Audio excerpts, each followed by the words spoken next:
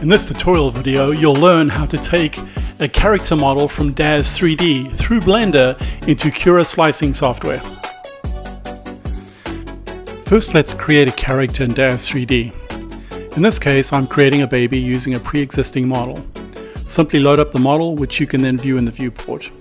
You don't need to worry about texturing or coloring since your model will be exported in one single color. With Daz 3D, it's easy to adjust the figure into any pose you'd like.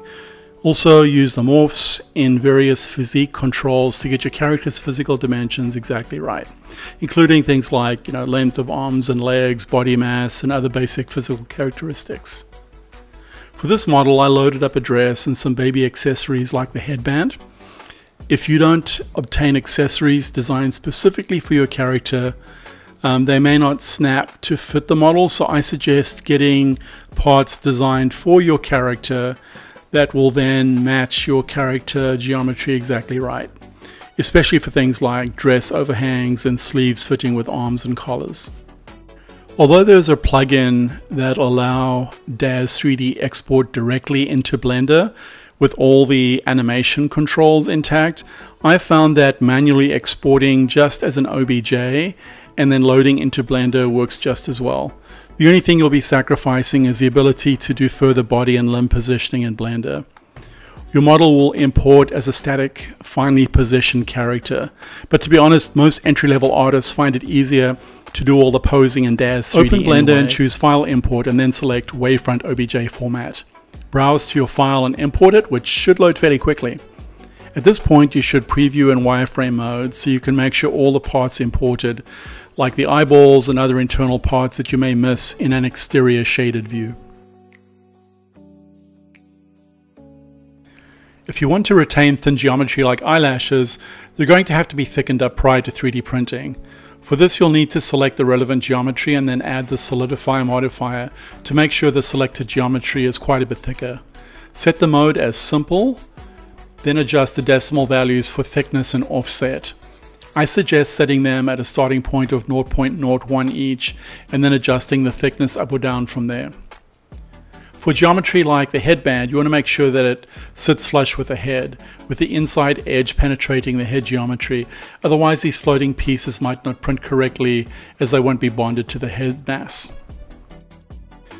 The biggest step comes next, making sure that the model is manifold, which means that the geometry is perfectly wrapped in one continuous skin of geometry, with no holes or faces missing in that surface shell.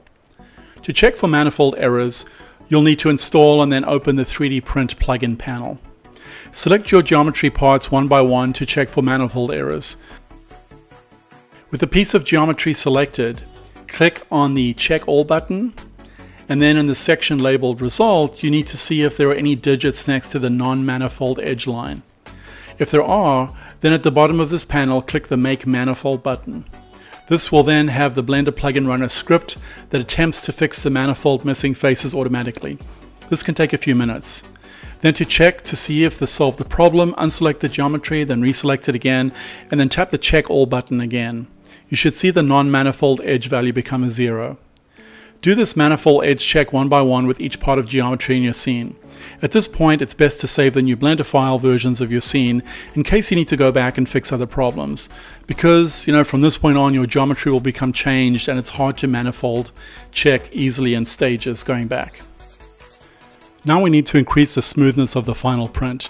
To do so, we'll be accessing the subdivision surface modifier to make our mesh denser. You must apply the modifier one by one to each part in the scene. It's recommended to use Catmull Clark for complex curved surfaces. Sometimes the simple setting can be used for machine parts where you want the edge and curves to be less rounded. It's fine to leave the levels viewport and render values 1 and 2 respectively. Remember to apply the modifier by tapping the arrow and then selecting apply. You should then see the wireframe get denser with more faces in the surface of each part. In Blender, you'll see the part shade turn from a mid-gray or, you know, kind of a darker gray to a light gray. To perform the final, what I call bulletproof manifold check step, you'll need to export the model to STL format and open in Microsoft 3D Builder, a free 3D printing program on Windows. I've tried about a dozen different manifold check programs, but none do it as simply and completely as this free little program from Microsoft. When you open the STL model, you'll probably see a red box under the model, which indicates that the model still has some manifold errors in it that would cause problems with printing. At the bottom right, you'll see an error warning next to the wrench icon, describing that one or more of the objects in the scene are invalidly defined. Click the button to run the repair process, which is automatic. This can take quite a long time, depending on the size of the STL. Your model from DAZ is probably going to be around 100 megabytes, and this can take as long as 10 minutes to process, depending on your PC hardware.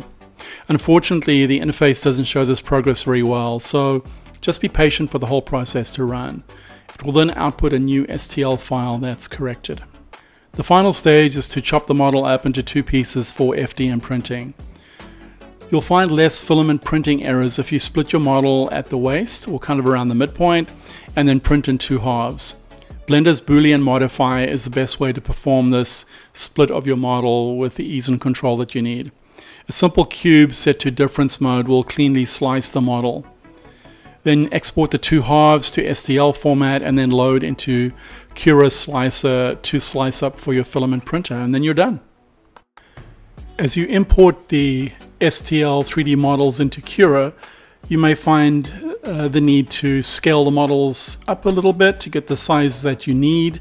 Um, I also add extra supports manually in Cura to ensure that uh, the model is correctly supported all the way around. I almost always print my human models with their backs uh, to the build plate so that their faces are facing up to the sky. This makes sure that all the supports are on the back of the model which can be sanded off, leaving the face, eyes, and all the detail on the front of the body um, nice and clean when you print. We hope you've appreciated the tips we've shown on this channel. Please subscribe and share this video with family and friends. Thank you.